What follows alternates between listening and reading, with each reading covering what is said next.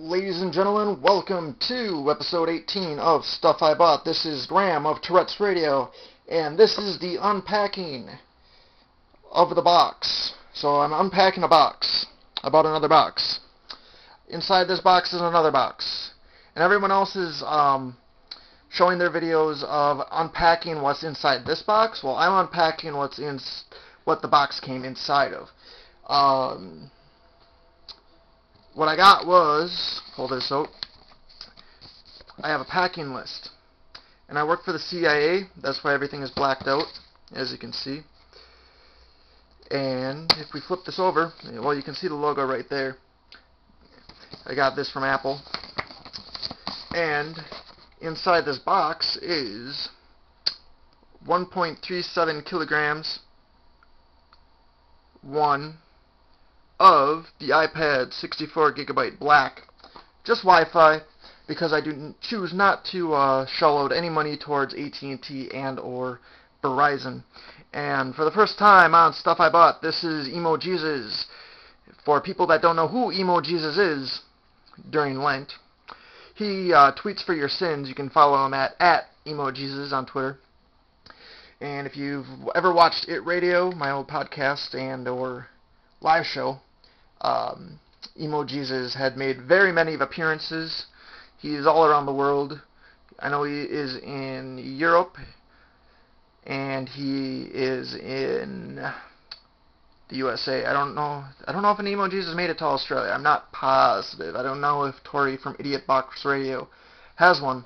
But anyway, like I said, I have the iPad 64 gigabyte inside this box, and it's a nice cardboard box, as you can tell and it was shipped on March 9th and it came from China and it left Shanghai, China on 311 Happy 311 Day.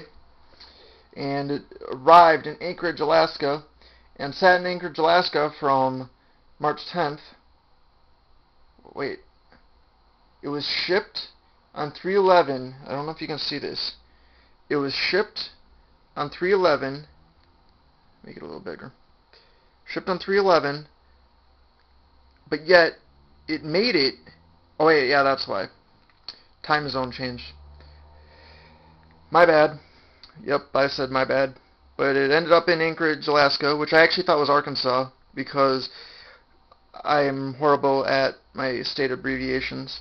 Made its way to Louisville on 315. On 315 that same day, it made it to Minneapolis, which was yesterday and then it's on its way to Eagan, Minnesota, and at 6.09, right after I woke up, I saw that it was out for delivery, and by 9.17, actually 9.18, it was on my chair at my desk at work, because I work for the CIA, and they just leave cool things on my desk. And as you can tell on this, it says nowhere that it is Apple, an Apple product, other than that you can return it to Laguna Boulevard in Elk Grove, California, which is not though um, one infinity infinity loop. But anyway, inside this box, which is cardboard, and it's just the size of the box, or it's a regular size box, which fits um, the iPad. Inside it is the iPad, as you can tell. I opened it up before so I didn't have to uh, cut myself. And if I did cut myself and went to the hospital, um, I wouldn't have to have YouTube pay for it.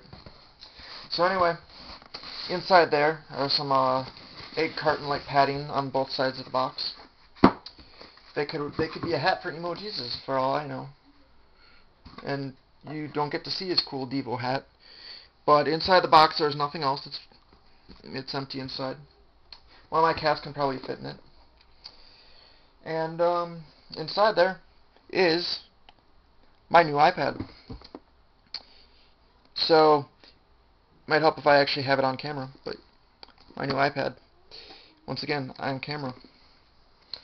So, that's the unboxing of the iPad box, because everybody else is unboxing their actual iPad. And I thought I'd change things up and just unpack the box, because no one, I mean, as an Apple fanboy, you have that experience. So it's like, oh sweet, I got it, and they rip it open and they open it. I haven't even gotten that part far yet. Nine o'clock and it's 5:54. I've waited this long to open up my iPad, so I'm gonna open it up now. Thanks for watching. Bye. Oh yeah, you should follow me at Stuff I Bought. You can also follow me at G underscore R A E M E and Tourette'sRadio.com. Bye.